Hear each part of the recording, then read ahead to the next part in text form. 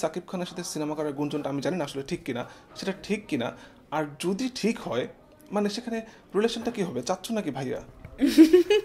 আমি এখনও তাকে চাচ্ছু রাখি, সাকিব আঙ্কেল রাখি।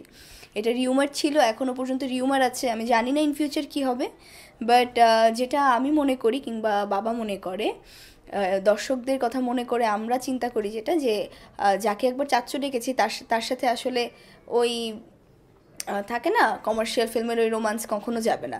বাট লাইক যদি ক্যারেক্টার ডিমান্ড করে আমরা কিন্তু অনেক মুভি দেখেছি যেমন কয়েকদিন আগে একটা মুভি এসেছে আবার বসন্ত। চিনিকম এরকম অনেক মুভি আছে যে ডিস্টেন্স দেখায় নায়ক নায়িকার মধ্যে। এরকম যদি কোনো ডিস্টেন্স থাকে তাহলে হয়তো বা ভেবে দেখব। I am not sure but ভেবে দেখব। এটা টোটালি ডিপেন্ড করে স্টোরির ওপর স্টোরি যদি ভালো হয় তখন হ্যাঁ ঠিক আছে।